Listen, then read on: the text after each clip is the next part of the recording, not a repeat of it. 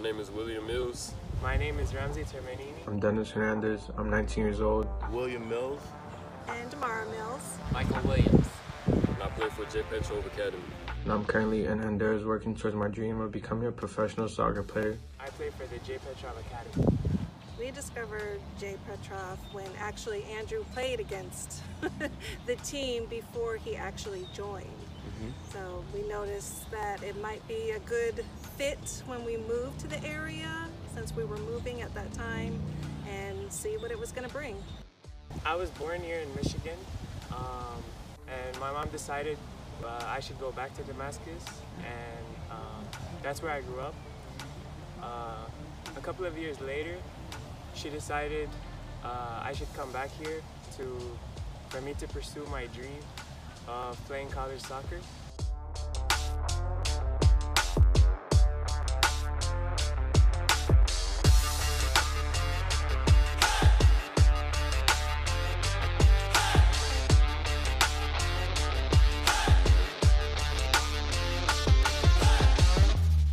I discovered J. Petrov Academy um, in my freshman year of I started playing here around 2018. And ever since then, it's been something I've loved to be a part of. I played at J. Petrov for five years, and I can tell you that Joko, along with the rest of the coaches, are the best coaches that you can have as a player. They will push you physically and mentally like they did with me and my teammates.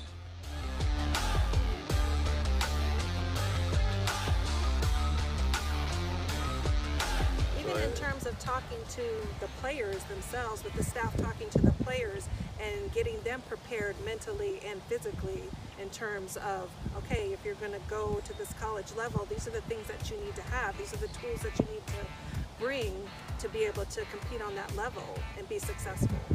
We really, really enjoyed the training aspect of it. The conditioning was great. You can't beat that. Um, the travel that he uh, experienced doing his play here, um, his soccer IQ has increased since he's been here.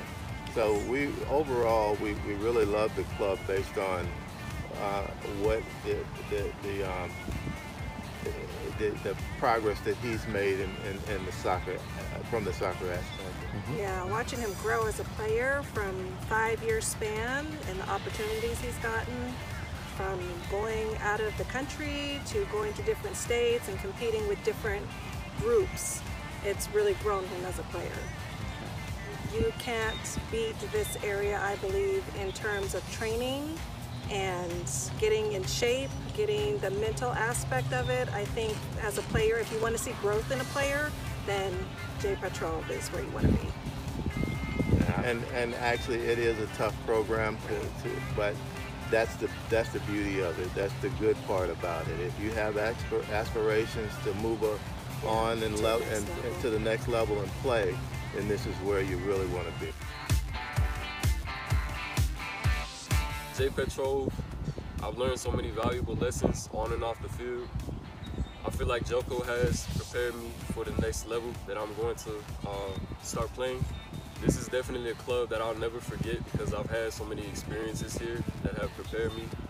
I mean, not only as a player, but as a person outside, Joko teaches us a lot of lessons um, we can apply anywhere in life. Uh, should come and try out because you will really develop here. Um, I've only been here for a year and already I noticed the character and my playing has drastically improved.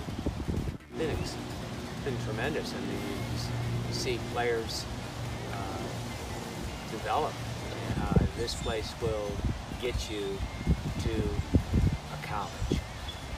He's good, and like I said, like you're always one of the academies, especially down at Disney, that we try to catch at least two games of.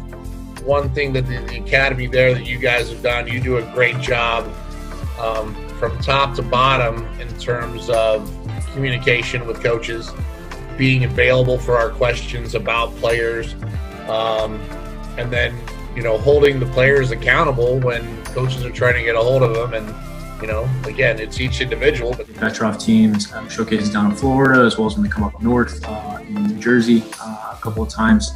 Um, you know, I think we're always looking for guys that you know are technically sound and have um, you know, good tactical understanding of the game. And that's been the case pretty much across the board from players that we've been able to see from the club. Really looking forward, the guys that separate themselves um, are ones that are great thinkers, problem solvers, communicators, um, kind of some of those intangibles um, that are harder to see up front um, and that are also very hard to coach.